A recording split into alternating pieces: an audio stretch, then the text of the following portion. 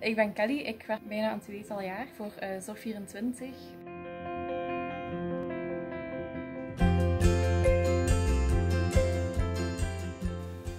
Hallo, dag Gislijn. Hallo. Goedemorgen. Goedemorgen. Hoe is het met u? Goed, dank u. Ja. Goed? Ja, ja. Ah, je ziet er ook goed uit.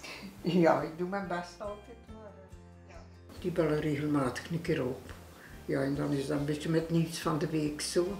Zij brengt een beetje aan en ik een beetje het mijne dan. En dat gaat wel vlot.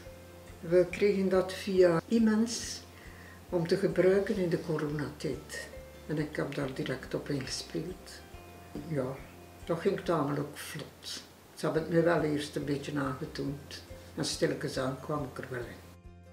De klanten vinden het wel leuk, denk ik. Um, ze kijken er alvast altijd naar uit om ons te zien. Het is een keer een onderbreking in de loop van de week ook. Ja. Ik ga dan keer kijken voor een nieuwe afspraak. Hè. Dinsdag 7 september. 15 uur 30. 15 uur 30. Ja. Is dat goed? Ja. Oké, okay, super. Kijk, ik ga dat zo opschrijven. Oké, okay. tot volgende week. Salutjes, hè.